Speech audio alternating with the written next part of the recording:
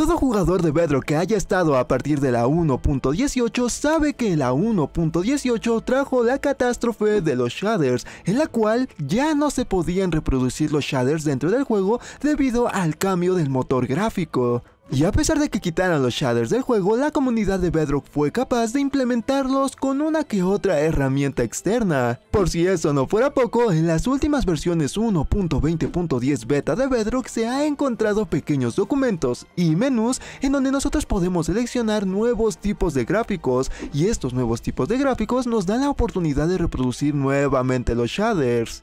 Pero si quieres volver a jugar con shaders a partir de la 1.20, hoy te voy a mostrar una nueva herramienta la cual nos va a permitir reproducir shaders dentro de Minecraft de manera oficial, así como lo escuchas. Puedes volver a tener casi de manera oficial los shaders dentro de Bedrock.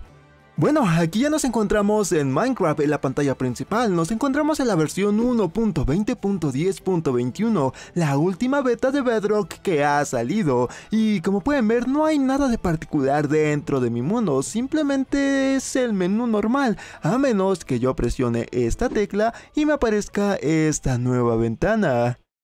Les voy a hacer aquí un gran paréntesis, esta ventanita extra literalmente son como configuraciones extra dentro de Minecraft, es como si nosotros nos fuéramos al apartado de video y encendiéramos alguno de estos parámetros, es prácticamente lo que hace esta ventanita, digamos que Bedrock tiene la capacidad de reproducir shaders, solo que esta ventana hace que se puedan activar de manera normal, así que una vez dicho esto me encantaría mostrarte cómo tú puedes obtener esta nueva ventana, pero digamos que la plataforma bastante pesada con estas demostraciones, por ello no te lo voy a mostrar, pero sí que puedes buscar uno que otro pequeño tutorial para que puedas aprender a cómo obtener esta ventana. Y para poder poner shaders dentro de Minecraft, lo único que necesitaremos va a ser prácticamente paquetes de textura, paquetes de texturas que tengan el comportamiento de ser un shader, algo así lo que nosotros hacíamos antes de la 1.18.30. Por suerte, el creador de esta nueva herramienta te adjunta bastantes shaders que fueron creados por él y que son totalmente compatibles con esta nueva configuración.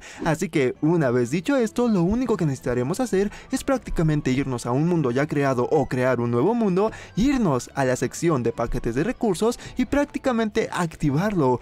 Recuerdan que esto es prácticamente lo mismo que hacíamos antes de la 1.18.30, poner nuestro shader dentro de Minecraft, irnos a los paquetes de recursos y prácticamente activarlos de esta manera. Pues bueno, con esta nueva herramienta es prácticamente lo mismo. Si me lo permiten voy a quitar esta ventana porque es un poco molesta y ahora voy a reproducir el mundo, así que aquí está cargando el mundo. Yo voy a esperar junto a ustedes para ver que esto funciona perfectamente. Uy, el sol como se fue volando de aquí allá.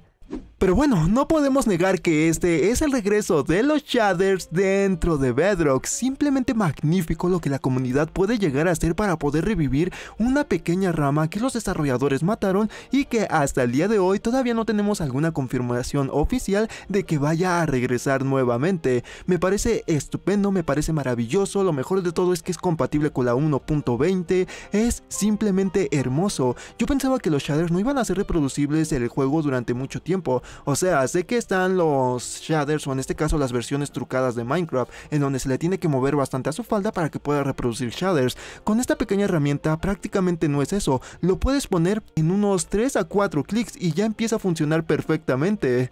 Ya que he tenido la oportunidad de jugar con RTX, les puedo decir que los RTX y los shaders no tienen algún tipo de comparación. Ambos agregan luces y sombras dentro del juego, pero debo de decir que los shaders lo hacen de manera un poco más tenue y los RTX lo hacen de manera un poco más detallada, pero definitivamente los shaders cumplen totalmente ese propósito, ¿saben? De agregar luces y sombras dentro del juego, además de estos brillos bastante característicos.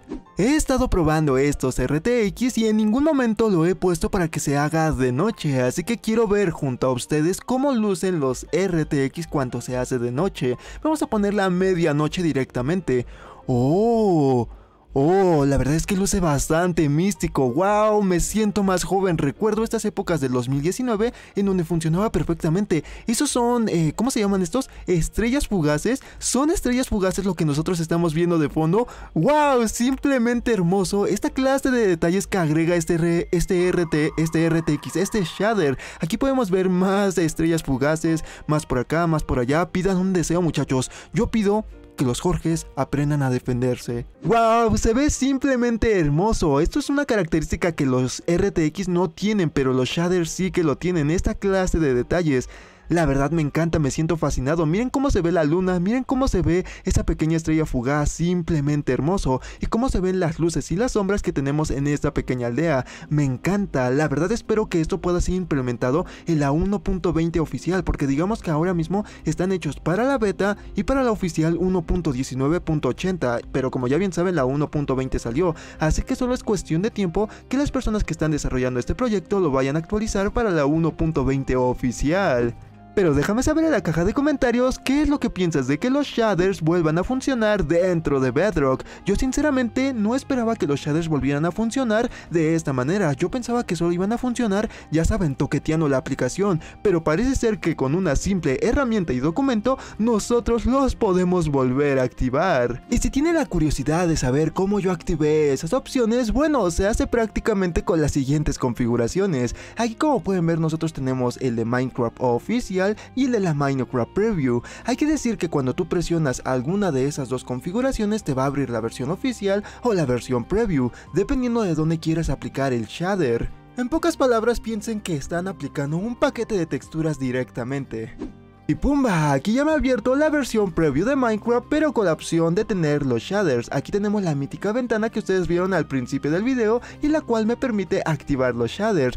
Como se los he dicho en todo este video, esto simplemente activa las configuraciones que ya tiene por defecto Bedrock, pero que no se pueden acceder normalmente, así que definitivamente las personas que están desarrollando este proyecto de volver a traer los shaders en Bedrock, lo están haciendo de manera excepcional. Ay, creo que quité el shader de mi mundo.